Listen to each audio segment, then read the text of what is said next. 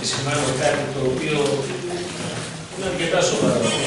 Όταν γίνεται μια συζήτηση για, τα, για το ενιαίο ανταποκριτικό τέλος, αυτή αφορά μόνο και μόνο το τέλος καθαριότητας και το τέλος ηλεκτροκοτισμού.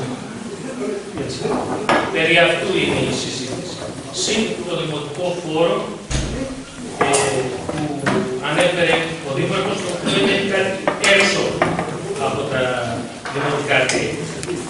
Δεν κάναμε σήμερα συζήτηση για το πώς λειτουργεί η ΔΕΙΑ. Αλλά όμως, ο λαϊκισμός ορισμένων πάει και μπερδεύει ζητήματα της ΔΕΙΑ που δεν απασχολούν σήμερα το Συμβούλιο για να δημιουργήσει εντυπώσεις. Αυτή η αναφορά που έκανε μόλις προηγουμένως πρώην αντιδήμαρχος των Υπηρεσιών της προηγούμενης Δημοτικής Αρχής εντάσσεται στο πλαίσιο της λαϊκίστικης παρουσίασης που έκανε ο πρώην Δήμαρχος ο κύριος Μαντάς. Μας μίλησε για διπλοκατοικία, μας μίλησε για αστικοποίηση, για ερημοποίηση, για πάγιο στην ΔΕΗ. Εγώ εκείνο που θέλω να ρωτήσω είναι ότι μόνο στο Δήμο το δικό μας έχουμε ορεινά χωριά. Εμείς δηλαδή αποτελούμε την εξαίρεση σε όλη την Πελοπόννησο. Μήπως ο κόσμος από όλη την Πελοπόννησο δεν μένει στην Αθήνα και κατεβαίνει κάθε Σαββατοκύριακο; Εμείς είμαστε η εξαίρεση σε αυτό; Όχι βέβαια. Εάν κάτσετε και κάνετε μία έρευνα, θα δείτε ότι η εξαίρεση είμαστε στο ότι έχουμε τα χαμηλότερα δημοτικά τέλη σε όλη την Ελλάδα, συγγνώμη, ελάχιστη δήμη. Και ανήκουμε και στους Δήμους που έχουν να πιάσουν το θέμα 17 ολόκληρα χρόνια. Αυτό θα έπρεπε να απασχολεί και τον επικεφαλής της αντιπολίτευσης και καθέναν μέσα. Γιατί, γιατί τα ανταποδοτικά τέλη, μιλάω το ενιαίο μάλλον ανταποδοτικό, ηλεκτροποτισμό και καθαριότητα, δεν είναι κάτι το οποίο μπορείς να το χρηματοδοτήσεις από τη ΣΚΑΠ, δυστυχώς. Κύριε Τετόρο, μακάρι να μπορούσα. Δεν μπορείς να το παίρνεις 700 χιλιάρικα του Υπουργείου Εσωτερικών για αναπτυξιακά έργα, για να κάνεις έργα που θα σου αποδώσουν. Και εσύ να το ρίχνεις στην κατανάλωση. Και να έρχεσαι εδώ και να επιχαίρει και να λες Α, εγώ είμαι μάγος.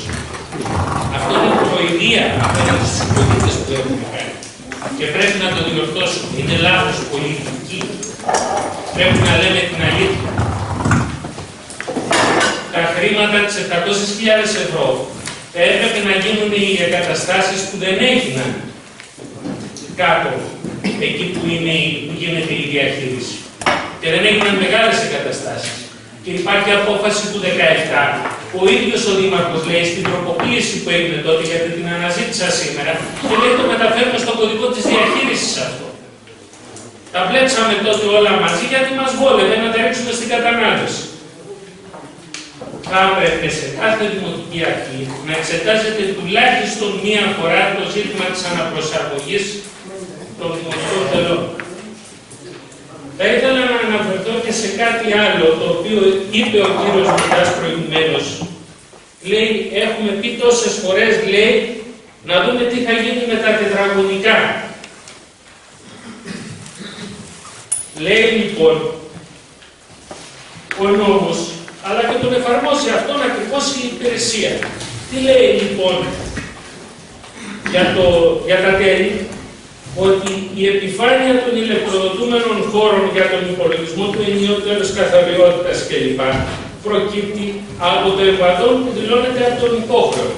Και υπάρχει συγκεκριμένη διαδικασία. Υποβάλλει ο κόσμος υπεύθυνη δήλωση. Λοιπόν, Υπάρχουν τέτοιες δηλώσεις στο Δήμο. Βεβαίως και η επιθυμία τη προηγούμενη Δημοτική Αρχή και παλιότερα μα έγινε να κάνω δηλώσεις Και με βάση αυτές βγαίνει το αποτέλεσμα των τετραγωνικών. Υπάρχει βέβαια και η δυνατότητα να γίνουν έλεγχοι. Αλλά με το προσωπικό, το μισό που διαθέτει αυτή τη στιγμή ο Δήμος σε σχέση με αυτό που θα έπρεπε να έχει, Αντιλαμβάνεστε ότι τέτοιοι έλεγχοι δεν είναι εύκολο να γίνουν. Προσδοκούμε και η οικονομική υπηρεσία και η δημοτική αρχή και κάθε δημοτική αρχή ότι τώρα με το σύστημα που πάει να εφαρμοστεί, δηλαδή με τις ε, δηλώσεις που αυτές οι οποίες θα γίνουν μέχρι τις 31 Μαρτίου και ενδεχομένως θα παραταθεί αυτό και τα αισθήματα θα παίρνονται online να το τάξουμε, ότι θα έχουμε έναν εξορθολογισμό. Και δεν θα χρειάζονται πλέον και οι υπεύθυνες αυτές δηλώσεις. Διότι θα παίρνεις τα στοιχεία μέσω τάξης.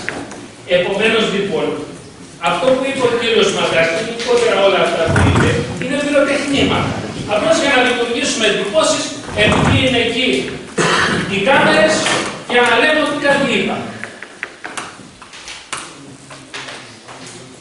Το ζήτημα των δημοτικών τελών, των συγκεκριμένων δημοτικών τελών, όχι των υπολείπων, είναι ζήτημα αρκετά σοβαρό.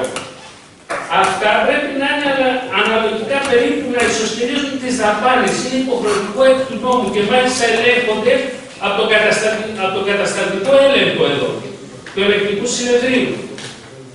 Είναι το άρθρο 276 του 38-32 του 10, όπως έχει τροποποιηθεί. Λοιπόν, δεν, μπορείς, δεν είναι σαν το δημοτικό φόρο που μαζεύεις ένα κουμπαρά και μπορείς να ενισχύσεις διάφορα, διάφορα κονδύλια του προϋπολογισμού. Όταν χαλάς 50, πρέπει να εισπράττεις περίπου 50. Δεν μπορείς να εισπράττεις 10 και να συνεχίσεις το διηνεκές και να λες ότι εγώ κάνω χρηστή διαχείριση οικονομική. Αυτά είχα να επισημάνω. Ευχαριστούμε.